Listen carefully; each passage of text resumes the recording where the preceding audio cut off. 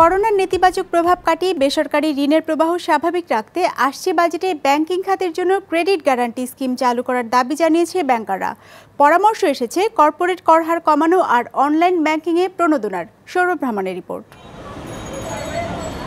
করোনায় বিপর্যস্ত অর্থনীতিকে চাঙ্গা করতে যে এক লাখ কোটি টাকার প্রণোদনা প্যাকেজ সরকার ঘোষণা করেছে, তার আটষট্টি হাজার কোটি টাকা দেয়া হবে ঋণ হিসেবে। সরকার শুধু সুদে ভর্তুকি দেবে। ঋণ বিতরণ আর তা আদায়ের দায়িত্ব থাকবে ব্যাংকগুলোর।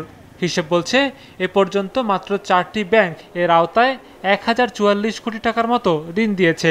যা বাড়াতে ঋণের টাকা ফেরত পাওয়ার নিশ্চয়তা চেয়েছে খেলাপির চাপে থাকা ব্যাংকিং খাত।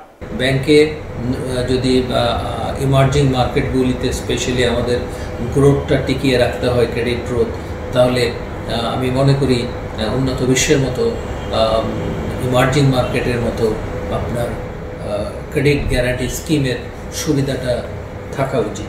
অর্থাৎ ক্রেডিট যদি ফেল করে এটা এক ধরনের ইন্স্যুরেন্সের মতো। সেটা গ্যারান্টি স্কিম এগুলো ওয়ার্ল্ড ব্যাংক কিংবা এডিবি কিংবা আইএমএফ এরা কিন্তু দিয়ে থাকে আইএফসি সো এদের মাধ্যমে ক্রেডিট গ্যারান্টি স্কিমটা আমাদের দেওয়া উচিত এই সময়কার জন্য। শুধু ঋণ বিতরণ নয় ব্যাংকারদের দাবি কোভিড নাইন্টিন চ্যালেঞ্জে ফেলে দিয়েছে, তাদের দৈনন্দিন ব্যবসাকেও। আমদানি রপ্তানির স্থবিরতা কমিয়ে দিয়েছে সেবাবোধ আয়। কমেছে, প্রবাসী আয়ের বিপরীতে পাওয়া কমিশন আর আমানত সংগ্রহের পরিমাণও, যা সামনের অর্থ বছরে ব্যাংকের আয় অর্ধেকে নামিয়ে আনতে পারে বলে আশঙ্কা তাদের। আর তাই সেই চাপ সামলাতে কর সুবিধা চেয়েছে ব্যাংকগুলো, আসছে বাজেটে। আমরা ব্যাংকিং ইন্ডাস্ট্রিতেও একটু আমার মনে ট্যাক্স রেটে কমানো উচিত বিকজ আমরা অনেক ধরনের স্টিমুলাস প্যাকেজের সাথে আমাদের জড়িত আছি এবং এখানে ব্যাংকে বেশ ইনভলভমেন্ট আছে। সে ব্যাংকের যদি ইনভলভমেন্টটাকে হেলদি রাখার জন্য সাস্টেনেবল রাখার জন্য এখানেও আমরা ট্যাক্সের রেটটা রিডাকশন রিকোয়েস্ট করব।